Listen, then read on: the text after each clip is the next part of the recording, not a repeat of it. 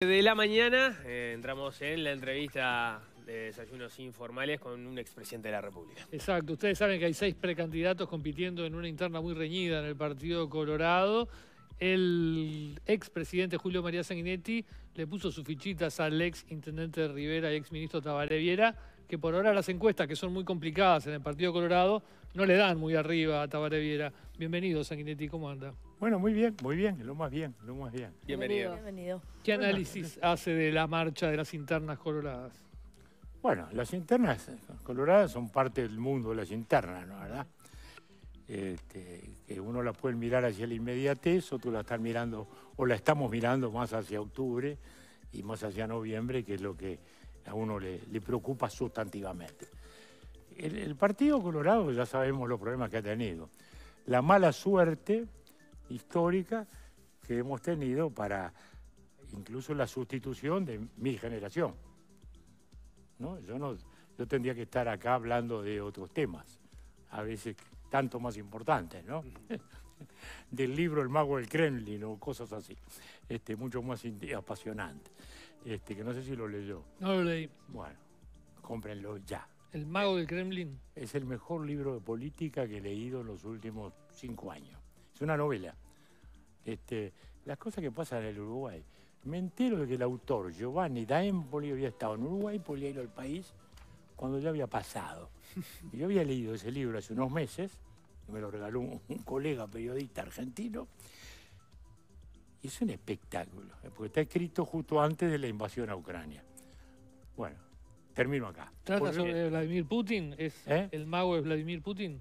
No, el No. mago es el asesor de imagen de Vladimir Putin Bien. que ayudó a construir la imagen del nuevo zar, de los, de los nuevos tiempos. Muy interesante. Bueno, volvemos al Partido Colorado. Yo creo que el Partido Colorado ha tenido una mala suerte histórica, ¿no? Porque, este, aparte de la coyuntura que se dio este, con la famosa crisis del 2002, que nos agarra justo en un momento de cambio de sistema, sabemos muy bien y éramos conscientes cuando hubo la doble vuelta que al tercero en discordia siempre se le va a complicar la vida, Partido Liberal en Inglaterra, etcétera, etcétera, etcétera. Es así. Se nos dio. Pero a partir de allí tenía que venir la renovación. Y la renovación se inició. Primero fue Bordaberry, dos elecciones muy auspiciosas, después la última elección de Talvi también, con un gran encanto, digamos, de novedad, y ambas se frustraron por razones diversas. Y volvimos a quedar descabezados. Y hoy tenemos varios candidatos. Yo diría que todos buenos en general. Prácticamente a todos los conozco desde el primer día que aparecieron en política. Muchos, la mayoría muy cercanos, que lo fueron y lo siguen siendo. ¿no? De modo que eso, eso está, está claro. Este, y creo, creo que eso es lo que importa. En este momento, bueno, fue una respuesta, de las respuestas posibles, yo diría que fue la, la mejor posible. La de que hubiera varios candidatos que dirimieran a ver quién es aquel que despunta con capacidad de liderazgo. Y aquí va a salir. Entonces, este, todos tienen sus méritos, todos tienen sus valores. Creo que hay un, capital de caridad política y de calidad institucional importante en esas candidaturas. Este, efectivamente, yo estoy apoyando a Tabaré porque integramos el movimiento ballistas desde hace ya varios años y además creo que aporta un enorme caudal de experiencia como político y como gestor. Como político porque no es casual el, el famoso bastión riverense, que lo ha mantenido aún cuando el partido no ganaba en Rivera, porque a veces la gente cree que en Rivera ganamos cómodo. No, en los últimos años no hemos ganado la elección nacional, pero sí hemos ganado la municipal a fuerza de gestión de Tabaré primero en, su- en sus dos periodos y de los, del equipo de él que hasta ahora ha seguido manteniendo con una gran capacidad de gestión. Bueno, eh, Tabaré fue, fue di- director de Antel, fue presidente de Antel en la época de la construcción del famoso complejo de la torre. eh, en fin, bueno, acaba de terminar un Ministerio de Turismo reconocido por todos los, los- los gestores, en fin.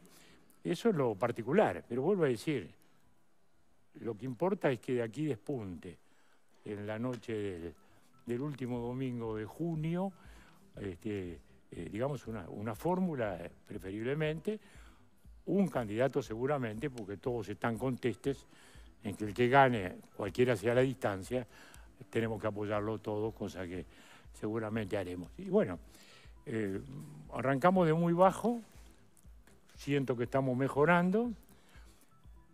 Si fuera por los cartelitos en Montevideo, estamos ganando lejos, ¿no? Este, ahora que uno viene por la calle y ve la cartelería, ¿no? Gourméndez puso muchos también. ¿Eh? Hay muchos de Gourméndez también.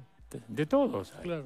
Ah, de todo el partido. De todos. por, eso, digo, no, no, prefiero todo el partido. Ah, Pero ve en estas candidaturas del Partido Colorado, que son muchas, ¿ve alguno de los candidatos con capacidad de liderazgo como tuvieron otros líderes del Partido Colorado históricamente? Mire, yo le diría que algunos tienen un liderazgo probado, caso de Viera, como digo. Usted me dirá, bueno, ha sido un liderazgo departamental. Bueno, no solo departamental, porque también ejerció un liderazgo en, ballistas. Este, es el dirigente, por, eso es el candidato, ¿no? Este, este, luego han sido líderes administrativos, si se quiere, ¿no? porque Robert tiene una larga trayectoria dentro del sistema educativo y en los últimos, en este periodo, ha tenido liderazgo en, una institución y en un tema complejo. Eh, Andrés, eh, bueno, es el más nuevo en estas, en estas lides, no en la vida política, donde anda dando vueltas desde hace muchos años, muchos años, siempre ha estado cerca, este, eh, más bien ha estado en los, en los rubros jurídicos por su profesión de penalista, hoy de moda, porque fiscales y abogados este, son la, la, triste moda, diría yo, de los tiempos. Gabriel, este, este, lo mismo, digamos, también tuvo años fuera del país, ahora este, estuvo en la Antel. Esa capacidad, uno del de, liderazgo se la puede ver a todos, unos más, unos menos. En lo político claramente mucho más viera. Ahora, eh, luego está el tema de la gente, ¿no? Y la gente es la que opina, el ciudadano es el que opina, este, hay que entender, hay que entender las características de los tiempos, este, trato de entenderla, este, porque este, ha cambiado mucho las opciones del electorado, lo que se le reclama a los liderazgos, los liderazgos modernos son, son, son distintos. Nuestro propio presidente es una expresión de ello. ¿no? Cada tanto hablamos de esa distancia generacional y nos ha permitido tener un diálogo extraordinario. ¿no? ¿Qué piensa en ese sentido del 49% de intención de voto que le dieron en el Partido Colorado Ojeda, según cifra? Bueno, pienso que puede ser una realidad. Sabemos que todo eso es muy difícil, todo es muy difícil de medir. Pero en todo caso da la impresión de que, está haciendo una buena campaña. Bueno, esperemos. Vuelvo a decir, este, falta muy poquito y, en la noche en la noche del 30 sabremos quién es el que puntea más. Vuelvo a decir, tengo buena relación, buena opinión y vieja amistad prácticamente con todo. Ojeda dijo en este programa que antes de largarse y ya iniciando su campaña, muchos dirigentes fuertes dentro del Partido Colorado le decían que no era su tiempo, que tenía que esperar. ¿Usted fue uno de ellos? Fui, fui, fui. Le dije, mira, este, hablé mucho con Andrés. Me imagino. Que además él estaba hablando también con Tabaré, bastante en aquel tiempo. Y yo le decía, vos tenés una gran opción que es la de ser hacer un poco el camino Bordaberry o Laura Raff. hacer una buena campaña en Montevideo, donde ya sos conocido por el tema de la policía. Y bueno, y si te posicionás bien ahí, estás para el salto. Bueno. Él lo asumió. Le digo, bueno, pero vamos a ver cómo pasa. Tanto lo asumió que si ustedes vieron, vieron la campaña de él, nunca decía Ojeda presidente. Creo que todavía no dice Ojeda presidente salió a tantear. Sintió que le iba bien y ahora ya está en carrera. Bueno, la política es flexible y dinámica. Es así. Los hechos En imponen. cualquier caso, sí creo que es lo importante, que yo le veía a él grandes condiciones, este, porque incluso, digamos, en esta, es, un candidato muy de la, de la posmodernidad actual, digamos. ¿Pero se equivocó en esa afirmación? ¿Eh? ¿Perdón? ¿Se equivocó usted en esa afirmación o le parece que no, todavía no, no, no está es definido? equivocarse, no es equivocarse. Era una- un punto de vista, no son cosas dogmáticas. A mí me parecía que ese era un buen camino. Él, intent- él no lo desechó. La prueba está que vuelvo a decir, él no arrancó Ojeda presidente. A tantear a ver qué pasaba. Como le ha ido bien, bueno, se embaló. Yo me alegro de que le vaya bien a él y que le vaya bien a todos. ¿no? Hoy están todos convencidos que le va bien. Bueno, muy bien. Ese, es- ese clima se traduce. Lo importante es que el partido vote bien, porque esto es un tema mucho más grande, entendámonos. Acá hay una batalla de dos coaliciones que si bien no representan la batalla que fue en su tiempo, en cuanto a batalla ideológica, hermética, ¿no? de blanco-negro, este, hoy estamos todos mucho más en espectros de, de centro, este, en, en todos los extremos. Este, es fundamental que el Partido Colorado vote bien. Fue decisivo en la elección pasada, va a ser decisivo ahora. Los politólogos dicen que, que, que el Partido Colorado tiene una dificultad que es no haberse diferenciado suficientemente del Partido Nacional en el gobierno. Eh, a diferencia de Cabildo, que todo el tiempo estuvo marcando, bueno, su perfil, con esto estoy de acuerdo, con esto no, con esto voto separado.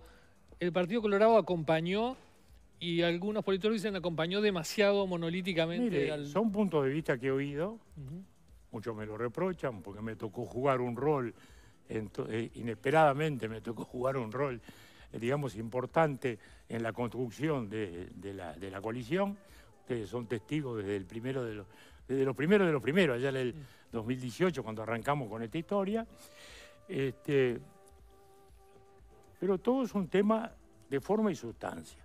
De sustancia es que nosotros tratamos de elaborar adentro del gobierno y de coincidir con el gobierno y de tratar de mostrar justamente esa expresión. No jugamos al, al perfil. Puede ser lo más conveniente o no, no lo sé. Pero en todo caso jugamos a, la lealtad, a la, coalición en la cual integrábamos y al programa que firmamos. Esa fue la conducta. Y creo que no hay otro modo de ser de los colorados. Para bien o para mal nos pesa la cultura de gobierno, a veces para muy bien y a veces para no tanto bien del punto de vista electoral, pero en nuestra mentalidad y en nuestro modo de ser, en nuestra vida. ¿no? Nuestra iglesia es el Estado. Y entonces este, eh, actuamos desde ese modo, no sentimos la vocación opositora de marcarnos, no quiere decir que no hayamos tenido discrepancias en un punto o en otro. Sí, las hemos tenido, las hemos procesado, las hemos discutido. Ahora mismo hay a veces eh, motivos en los cuales podemos diferenciarnos, este, pero, pero lo, hacemos con- con lealtad. Y vuelvo a decir, así como miremos la, la última elección, la última fotografía fue 29 Partido Nacional, 13 Partido Colorado, 12 Frente, 1 Independiente. ¿Qué queda de eso? Bueno, 12 la cabildo vi. 12 cabildo, 39 Perdón. del frente. Ahí está. Lo bajó a 12 al frente, se le fue la mano. Este, y entonces, ¿qué va a pasar allí? Bueno, quizás no tengamos en el conjunto de la coalición ese- esa, esa mayoría tan fuerte de la primera vuelta, que estemos más cerca de lo que fue la segunda vuelta y la LUC, que fue el último test, que se ganó por poco, y mi impresión es que va a ser algo así. Acá no hay goleada, trataremos de ganar, sabemos que no por mucho tal. Sí creo que va a haber, en la mirada hacia, hacia octubre, algunas instancias realmente sustantivas para el país, que fundamentalmente es la que refiere al plebiscito sobre la seguridad social. Que antes de entrar al plebiscito de la seguridad social, tiene otro contenido muy, muy fuerte. Porque la confiscación de los recursos de la SAFAP creo que nos liquida el discurso a los tres presidentes que andamos por ahí, como yo le digo el tío de los panchos a, Mujica y a, la, y a- la calle, este, porque el Uruguay creíble, el Uruguay de las reglas de juego previsibles, el Uruguay este, amigable para la inversión, el Uruguay ¿qué tal, ahí se termina, porque Ya. un acto de confiscación de ese tipo va a generar indudablemente en la misma noche ya un impacto directo, directo sobre la credibilidad del país. Se nos terminó el discurso fundamental que nos ha diferenciado eh, para la inversión y como consecuencia para el empleo. Ya que, ya que tira el tema Mujica y el tema del plebiscito, ¿cambia que gane Cose o que gane Orsi? Porque Orsi, por ejemplo, tiene el, el respaldo evidente de Mujica, se ha pronunciado contra el plebiscito en forma explícita, no, no, no firmó, no lo va a votar, va a votar en contra. Cose cada vez con menos, cada vez con menos entusiasmo. Bueno, pero está claro, ¿no? Sí. Pero le cambia que gane COSE al Uruguay, ¿es, diferente que el Frente tenga COSE como líder bueno, Bueno, para empezar, en lo político, no lo digo yo. La señora Topolanqui lo ha dicho una y otra vez de que el Frente arriesga a perder este, con la ingeniera COSE. Es su punto de vista. O sea que hay primero una diferencia electoral muy importante mirado del Partido Colorado, bueno, vamos a tener que competir con el que sea. Quizás sea más difícil competir con Orce por los perfiles. Quizás sea más fácil competir con la ingeniera Cose por nitidez, porque ella es más nítidamente el, digamos, el frentismo PCNT, digamos así, y, y nosotros estaremos en el punto de vista de la coalición republicana, desde ese punto de vista. En cuanto a los resultados, da la impresión que sí, pero en cualquier caso creo que los dos tienen el problema de la falta de liderazgo político. Es decir, no está Vázquez, no está Tori, Mujica está, pero Mujica es más predicador que, que líder. Mujica no ejerce eso, eso que llaman el liderazgo, ¿no? de estarle arriba a la gente para que haga esto lo otro. Es más predicador que otra cosa. Y esa falta de liderazgo hace que los dos candidatos sean muy importantes, pero hoy aún ninguno de los dos es el líder del frente.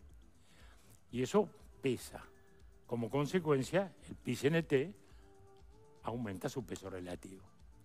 Y eso es grave para ambos. En el caso de COSE no hay duda. Por eso mismo dice que está pensando todavía qué va a hacer con el plebiscito, respuesta bastante poco eh, entendible en un tema de esta magnitud que estamos discutiendo desde siempre y que en todo este periodo estamos discutiendo desde el primer día. Y por el otro lado, Orsi, que dice que no le gusta, pero que si el partido resuelve otra cosa, va a ser otra cosa. tampoco él este, se juega la vida, este, quema las naves en el tema, porque no puede porque la fuerza del PCNT, incuestionablemente, es hoy como estructura lo más importante o lo más sustantivo que tiene el frente ahí adentro. Entonces, ese es el panorama que, tenemos y bueno, y me parece muy relevante en esa perspectiva. ¿Pero qué prefiere? ¿Que COSE sea la candidata para tener el rival eh, supuestamente más fácil según Topolaski o Orsi que de alguna manera lo, siente más lo que nosotros prefiramos no hacia la cuestión. Lo importante es que estemos dispuestos a confrontar porque representamos cosas distintas. A propósito, a propósito de eso, usted eh, decía que, lo fundamental hacia octubre es que el Partido Colorado vote bien porque de esa forma le va a dar los votos necesarios a la coalición para que termine eh, ganando en, noviembre, este, en octubre y en noviembre. ¿Usted tiene una visión sobre qué tipo de perfil de liderazgo es mejor en el Partido Colorado para complementar la opción del Partido Nacional, que seguramente sea Álvaro Delgado? Mire, yo creo que cualquiera de los nuestros representa claramente lo que es el Partido Colorado, o sea, el espectro republicano del Partido Colorado, la opción de Estado y de sociedad del vallismo. Y creo que cualquiera de ellos la representa. Para decirlo de un modo, si usted quiere, muy particular, este, el discurso del presidente en Buenos Aires es el discurso más ortodoxamente ballista que he oído en los últimos años. Lo podía haber firmado don Pepe, don Luis, y yo lo endoso. Estado fuerte, no necesariamente grande, partido político fuerte, cohesión social para el ejercicio de la libertad, que si no se hace ilusorio. Jamás pensé que alguien nacido adentro del herrerismo del Partido Nacional iba algún día a hacer un discurso de esto. Lo cual... Dijo don Pepe, don Luis, y usted se salteó dentro de la línea eh, ballista a Jorge. Porque Jorge tenía algún matiz. Jorge era más herrerista y la calle Pau es más era más, era más liberal, porque era más liberal, naturalmente. Pero el discurso de, el discurso de la calle, textualmente, muy fuerte desde ese punto de O vista. sea que la calle Bou sería el primer, eh, el primer descendiente de la familia Herrera ballista. Bueno, pero es, la, es, la, es nuestra gloria y nuestro infortunio. La gloria del Partido Colorado es que al final la construcción del Estado ballista terminó siendo el Estado uruguayo. Porque el vilipendiado Estado ballista o elogiado Estado ballista, según se le mire, es el Estado uruguayo, punto. Esa es nuestra gloria. El Uruguay se impregnó de las ideas en la construcción social del vallismo, de su universalismo de derechos, de su integración social, de la absorción de la inmigración, de la construcción de una nueva identidad nacional en el siglo XX, etcétera, etcétera, etcétera. Es nuestro infortunio, porque ahora resulta que hay más, somos todos ballistas, ¿no? Entonces, salvo el, doctor Posadas y, este, y, mi, amigo la calle Herrera, después eh, hasta la calle Pou parece ballista, por lo menos en el discurso, y en la acción, porque todos, ese es el otro tema.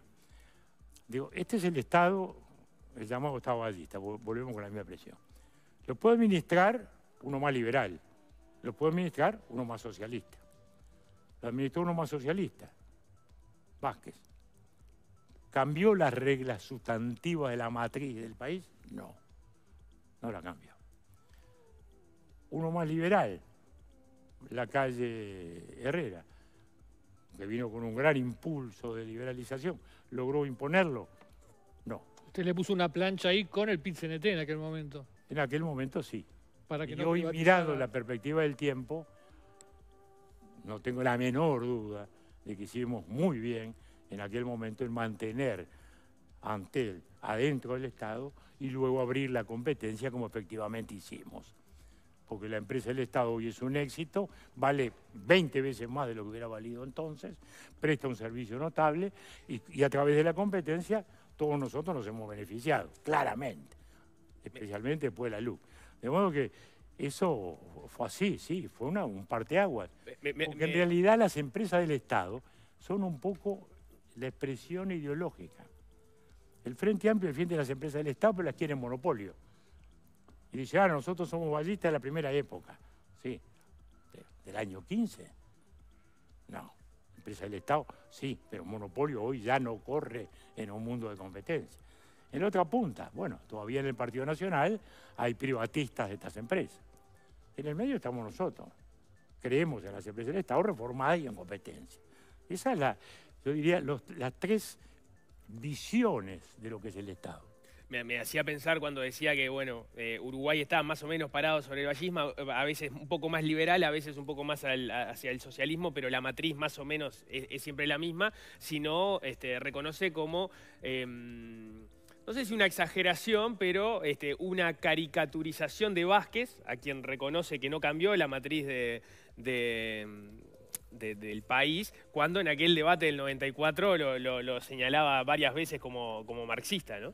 Y bueno, y él, y él me regaló el concepto. Marxista-leninista. Ese, ese debate fue muy particular, ¿no? Son esos debates que, bueno, se sigue hablando de Sí, esto, claro. ¿verdad? Y el tema fue así. Yo había quedado de malla de oro después de la primera presidencia. Era el candidato obvio, candidato, candidato, candidato. Le va a pasar ahora a la calle, a la calle Pou, En 2029. que va a quedar de candidato obvio y vamos a ver cómo hace para esconderse un par de años para, para no estar. Yo viví eso. Pero cuando empieza la campaña, seguro, me ponen la camiseta y era pegarme de acá, pegarme de allá, pegarme de acá, pegarme de allá. Ah, y, y arranqué en punta a las risas y al poco andar cada vez había menos sonrisas. Y un día me llama Oscar Botinelli, que habíamos hecho un, un- un- un acuerdo para seguir la opinión pública, me dice, mira, las líneas vienen así, ¿eh? Si- ¿Qué va a pasar? si no pasa algo, te van a ganar los blancos. ¿Qué pasa? ¿Qué había pasado? Nosotros habíamos hecho el acuerdo con Hugo Batalla. Que para el paladar un poco más, más a la derecha del viejo pachequismo, etcétera, etcétera, aparecía como un desvío demasiado hacia la izquierda, ¿no?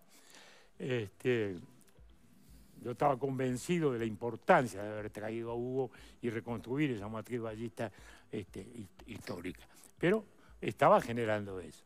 Entonces, Oscar me dice, bueno, si no hay algo, difícil. Y ahí entonces salí a buscar ese tal, el doctor Vázquez estaba reticente, no quería, y bueno, y al final vino eso, y yo tenía que, ahí yo no iba, algunos dicen, ah, vos ganaste ahí. No, yo no sé si gané. Digo, dejé de perder, porque por eso mismo fui a tranquilizar ese sector que sentía que, que Sanguinetti se iba demasiado a la izquierda y que quedara claro. Y Vázquez, bueno, quedó allí. Recién salió. Recién salió el nombre de Jorge Valle. ¿Le dejó un sabor amargo la película que está ahora en cines? No, para nada. Para nada. Yo diría que es una buena película, la fui a ver. Este, Publicó una columna en el Correo de los Viernes con algunas críticas de un par de episodios que aparecen señalados. Bueno, es la vida política. Con Jorge tuvimos vida paralela. Él era unos años mayor que yo, nueve años mayor que yo. Pero nos, criamos abajo del, abajo del padre. de modo que este, tuvimos una, identidad este, de ese punto de vista y convivimos siempre. ¿Tuvimos algún momento de separación política interna? Sí, sí. En la elección... Lo, hubo. En la elección de Carío. Y ahí aparece, y sí, porque yo en aquel momento, al término de la, de la primera presidencia... Se le quedó con un brazo. Él quería ser candidato cuando el famoso episodio ese, pero y ahí episodio. Nos reencontramos como siempre dentro del partido y en lo personal. Ahí también le dijo a, Jorge Valle, no es tu tiempo, tenés que esperar. Le dije, no es tu tiempo. Él me dice, bueno, pero ¿qué esto, qué lo otro? Digo, mira, yo no sé si es el de Tarigo, pero siento que el tuyo no fue. Fue, fue candidato, ganó la interna y después perdió la elección. Bueno, ahí estaba este, separado también. En la calle, bueno. Estaba sin un brazo. Entonces, claro. Le faltaba el apoyo de Sanguinetti. Eso es un episodio político. Lo importante Pero después es que hay una continuidad y que nunca perdimos la fraternidad. Porque aún, aún en los momentos peores siempre nos seguimos hablando, como pasa en las familias. En la, elección que y los últimos años, además, fueron felices, muy felices para ambos, porque nos sentábamos como viejos, como viejos combatentes a recordar viejas batallas y a restallar viejas heridas. En la, en la elección que usted recordaba, que la fórmula fue Sanguinetti Batalla, en la película parece como que, como que Jorge vaya por todos los votos que fueron, porque había ley de lemas, que posibilitaron que usted ganara. Pero yo recuerdo la campaña de Jorge Valle, era muy ambigua en el sentido que juntó esos votos, pero también ahuyentó muchos votos porque él hablaba del Frente Amplito que había creado Sanguinetti con batalla y, ridiculizaba mucho la fórmula y aparte decía, y todavía tienen a Millor que junta los votos de la dictadura, como una cosa muy ridícula y usted recuerda eso. Sí, sí, bueno, son las cosas de la vida política este, que podemos mirar. Lo importante ahora, vuelvo a decir, el país empieza una, una nueva elección, el país está bien posicionado económica y social e internacionalmente en un mundo complejísimo, complejísimo como estamos viviendo. Nadie nos hubiéramos imaginado que íbamos a tener una guerra más que europea occidental, este, como estamos viviendo. Nadie hubiera imaginado que íbamos a tener una pandemia como tuvimos, etcétera, etcétera, etcétera, etcétera. vamos, a no repetir lo que hay. Y una América Latina como tenemos, porque desde Colombia, que es un, un berrinche extraño, pasando por Ecuador, por Perú, aún por Chile, donde ayer hablé con mi amigo Ricardo Lago, que está muy impedido físicamente, pero muy lúcido intelectualmente, y me hablaba de los problemas que está afrontando Chile, y nuestra explosiva Argentina de al lado, ¿no? ¿Verdad? Entonces, en ese contexto uno ve un Uruguay que tiene todas las oportunidades para seguir adelante, para seguir avanzando, a condición de no frustrarse o de no desviarse en las cosas fundamentales y seguir haciendo mejor las cosas que tiene que hacer en materia de educación, que es la clave de todas las claves, la clave de todas las claves, de punta a punta, desde la seguridad hasta la inserción internacional en la educación, nos estamos jugando la, vida, este, en materia de innovación científica, en materia de competitividad, etcétera, etcétera, etcétera. Ahí es donde tenemos que, mirar hacia adelante, mirar hacia adelante. Hay una referencia más eh, en relación a la película de Jorge Valle que quiero que no quiero pasar por alto, que es una referencia a su persona vinculada a la eh, Comisión para la Paz mm. que creó Jorge Valle en el año 2000, en donde se, mm, se expone en el documental que usted manifestó un rechazo a quererla integrar. Ahí dije, ahí es un Tanto error. usted como la calle Herrera. Es un error, ahí se lo dije a Caetano, porque él dice que la calle y yo estuvimos en contra. No, no estuvimos en contra. Yo- No mandaron un mí. representante No, no, no, yo lo hablé con Jorge todo el tiempo, eso. A mí me pareció bien. Era otro tiempo que se estaba iniciando. No, Lo- la, la política es siempre tiene una línea y una coyuntura. Uno no puede despegarse de la coyuntura, ¿no? Una comisión así en el primer periodo hubiera sido de pronto un desastre. ¿no? Cada cosa tiene su tiempo. Pero en el Y tercer en ese periodo, momento tal. Jorge tampoco quería. Estábamos más no, lejos ahí, ¿no? no, pero la idea de Jorge, que, estaba bien, era no politizar demasiado la comisión. Que no fuéramos todo una representación política. Era esa la idea. Y yo creo que tenía razón, de que no teníamos que participar. Hubo un solo representante colorado, el doctor Ramela, que era un hombre que no estaba en la batalla política. Y estuvo bien. O sea, ese es un error. Pero no piensa hoy, con, con estos años de perspectiva, que fue una señal Fue no buena. deseable. Fue muy buena, fue muy buena y... y No, digo la señal de Sanguinetti de no haber mandado un No, no, no, representante suyo. Fue, fue un buen paso en la, en la dirección adecuada a esa reconciliación nacional que el país tiene como concepto de paz, pero todo sobre que tiene todavía que seguir restañando heridas, como desgraciadamente todos estos periodos de violencia dejan, dejan siempre inevitables secuelas. ¿Es cierto que usted nunca recibió a familiares como presidente? No recuerdo, no recuerdo, no recuerdo. Ahora con la identificación de- del cuerpo de Amelia Sanjurjo, que fue la, la última desaparecida que se ubicó su cuerpo, em, buscando en estos archivos del terror que se han publicado en internet, encontré lo que el fiscal militar, este, cuando se aplicó el artículo cuarto de la ley de caducidad, que los fiscales militares le preguntaban al ejército, bueno, eh, si sabían algo sobre los desaparecidos, porque el artículo cuarto mandataba averiguar qué había pasado con los fiscales, con los desaparecidos, y le responden al fiscal que era Borgato, en este caso, el- era sustituto de Zambucetti, que fue el principal fiscal militar. Eh, y del ejército le respondía, no, no hay ninguna constancia que esta mujer haya estado detenida en el ejército, lo cual evidentemente no podía ser real, pero bueno, es lo que le respondieron.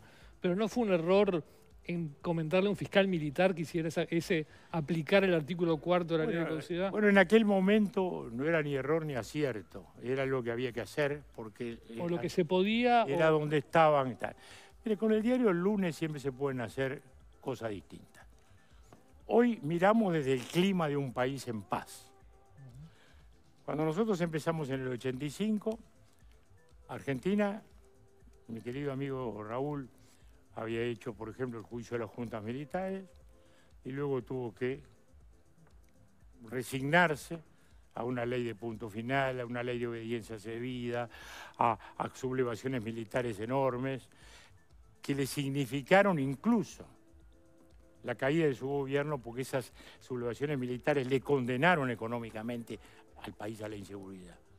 Es decir, son momentos de prioridad. En aquel momento, ¿cuál es la prioridad? Rescatar todos los derechos humanos, las libertades públicas y la paz del país. Y eso se logró. Con una amnistía hacia los tupamaros. Porque hoy también parece que eso no ocurrió. Y los tupamaros estaban presos por los jueces de la democracia, en la época de la democracia, por querer tirar abajo la democracia. O sea, no nos perdamos de vista en el tema, ¿no? Es decir, usted acaba de publicar este, un libro, Caraguatá, que creo que es una gran lección, también lo recomiendo la lectura, Gracias. porque eso muestra dramáticamente lo que fue nuestra guerrilla y cómo hubo el crimen frío, muy parecido a los crímenes que cometieron también los, los- los militares este, con estas personas desaparecidas. Crímenes horrorosos, horrorosos, que dejan heridas penosas. De modo que hay que mirar los tiempos históricos. Entonces hay prioridades, en aquel momento fue ese. Luego del plebiscito de la caducidad, durante los cinco años de la calle, no se habló más del tema, porque todo el mundo había dicho, se cerró esta página. No lo dijo ni Sanguinetti, ni Pacheco, ni. Lo, dijo, lo dijeron justamente la comisión que había planteado la, este, situación, de- presidido por la señora Michelini, por Elisa. Es decir, no se habló más durante esos cinco años, ni de desaparecidos, ni del tema del pasado. Reaparece luego en nuestra segunda presidencia, paulatinamente, digamos así. Había habido algunos episodios, sí. Recuerdo, este, ya en la primera, que había habido el dato de esta chica Zaffaroni en Buenos Aires, Juan Miguel Petit fue uno de los actores, hasta contratamos detectives en aquel momento y se logró este, el esclarecimiento. Era todo muy difícil. Sanguinetti se nos fue totalmente el tiempo. Y bueno, daría para, daría para sí, seguirlo. Esperemos, Porque- esperemos que dejemos interesada a la audiencia en seguir hablando de esto. Exacto. Y del mago del Kremlin también. Sí, sí, ahí ya ahí tenemos mensajes preguntando cómo se llamaba el libro, así que hay gente que lo está anotando ahora. Muchas gracias por haber venido. Muchísimas Muchas gracias. ¿eh? gracias. Ahora cuando son las